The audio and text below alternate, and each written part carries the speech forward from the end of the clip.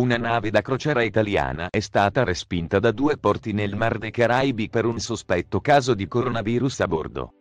A bordo si è accertato che c'è soltanto un caso di influenza e non di coronavirus.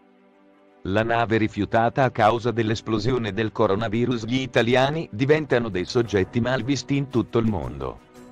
La nave MSC Meraviglia in crociera nel Mar dei Caraibi è stata rifiutata da due porti. A bordo un sospetto caso di coronavirus che, in realtà, si è rivelata soltanto un'influenza. La paura che si potesse ripetere un caso analogo alla MS Amsterdam oppure alla Diamond Princess.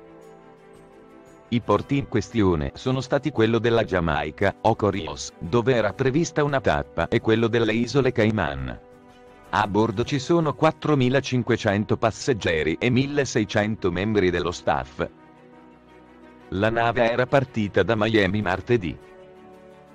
È arrivata a Ocorios, in Giamaica per fare tappa ma, dopo che il capitano aveva segnalato alla capitaneria di Porto un caso di influenza a bordo, la stessa ha vietato l'attracco. Così, la nave è partita alla volta delle isole Cayman per attraccare nel porto di Georgetown, ma è successa la stessa cosa.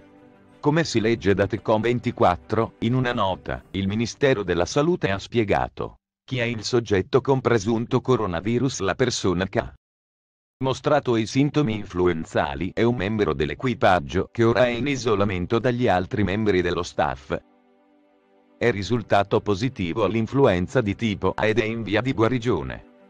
La persona aveva viaggiato da Miami a Manila, passando per Istanbul.